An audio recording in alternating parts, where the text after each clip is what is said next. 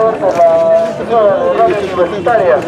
Hicieron muchas preguntas referentes a la atención de los asegurados. Y hemos respondido de acuerdo a lo que están los paquetes, en los que están parte de los administrativos también que hemos estado desde en la mañana. Igualmente, eh, igual manera nos han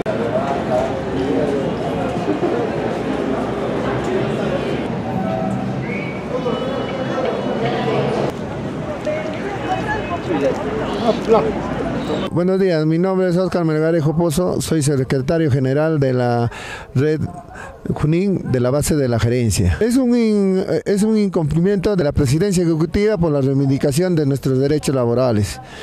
Son ocho puntos lo que es la plataforma de lucha de igual manera también estamos por la necesidad de los asegurados a fin de que tengan mayor uh, medicinas, mayores atenciones y las citas que sean uh, más rápidas.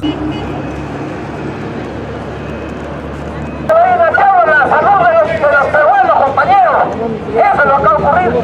Y eso, con estos hechos y con estos...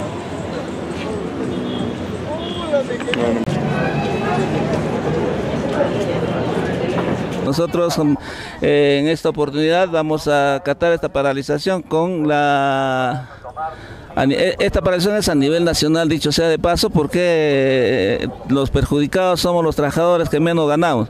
Es en, razón a ello que nosotros estamos eh, aquí el día de hoy y mañana.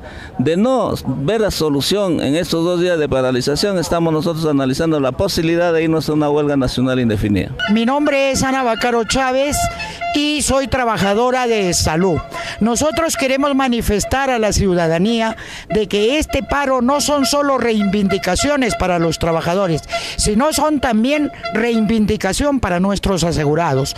Nosotros sabemos que el actual gobierno de turno lo que está buscando es universalizar la salud, la atención a la salud, pero el gobierno quiere utilizar los fondos de los asegurados, el aporte de los asegurados, quiere utilizarlo para dar a otros sectores que pueden ser el MINSA, que pueden ser las fuerzas policiales.